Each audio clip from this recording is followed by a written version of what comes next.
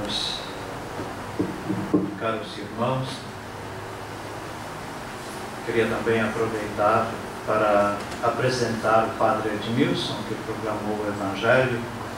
Ele é reitor do Seminário Maior de Anápolis e também coordenador da equipe dos formadores, que são do propedêutico do Seminário Menor e do Seminário Maior. Ao todo, a Diocese de Anápolis tem 80 seminaristas. É uma graça, desafio e também perspectivas para o atendimento bom, adequado pastoralmente da nossa população da região de Anápolis que está crescendo muito rapidamente. Estamos no tempo da Páscoa e continuamos lendo este grandioso livro do mistério da salvação. Dia após dia, a liturgia nos permite ler uma página, ou seja, ir aprofundando, desvendando diversos aspectos, diversos frutos do mistério pascal. Rapidinho podemos citar alguns: a Eucaristia, o sacerdócio, o grandioso, urgente pedido de Jesus do espírito de serviço, o poder de perdoar os pecados, a comunidade como forma de vida dos discípulos de Jesus. E hoje a palavra de Deus nos fala de quatro pontos significativos: a perseguição, a missão, a luz e a verdade. Nos Atos dos Apóstolos, nós começamos a ouvir as aventuras dos apóstolos depois da ressurreição de Jesus Cristo. Já durante a vida, Jesus prometeu como prêmio para aqueles que o seguirem o cêntuplo, quer dizer, a plena felicidade, claro que não tão plena quanto no céu, para aqueles que seguirem a verdade de Jesus Cristo, mas pelo preço de perseguição. Recebereis o cêntuplo com perseguições.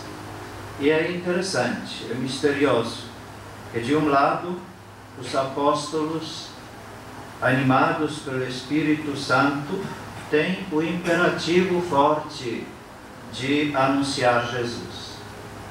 Antes eram homens medrosos, quantas vezes duvidosos, Quantas vezes Jesus ficou zangado, com o coração lento para crer e compreender.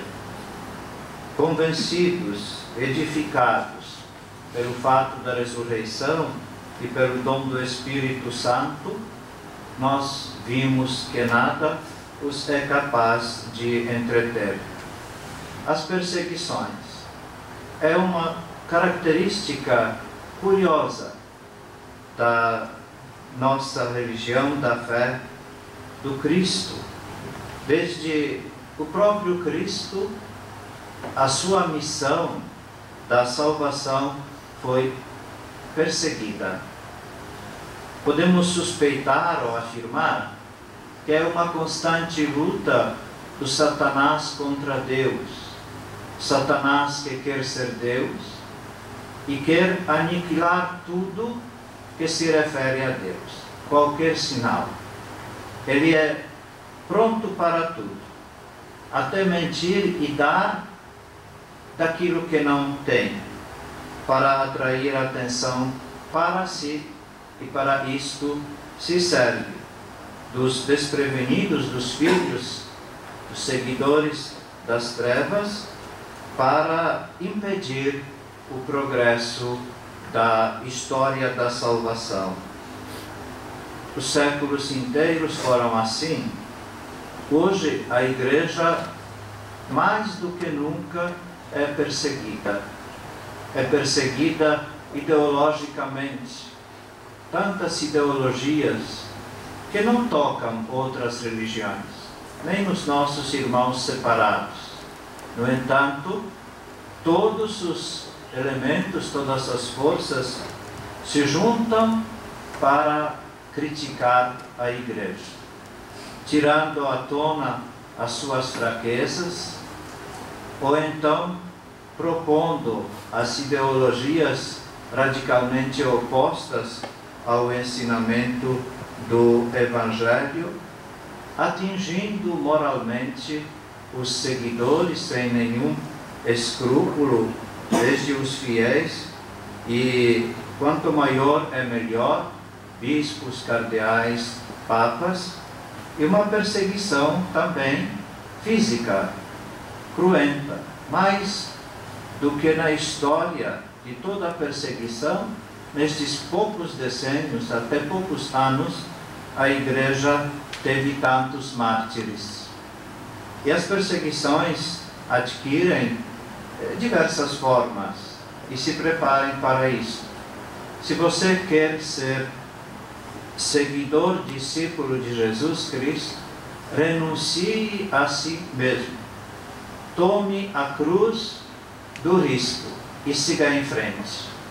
Esta é a mensagem de Jesus. Ser sacerdote é grandioso, é bonito, é glorificante, traz satisfações, mas não é mole. Exige o coração de homem firme, convicto, decidido. E aqui nós entramos neste aspecto da missão. De onde veio a missão? Já disse, do coração entusiasmado por Jesus e da graça do Espírito Santo.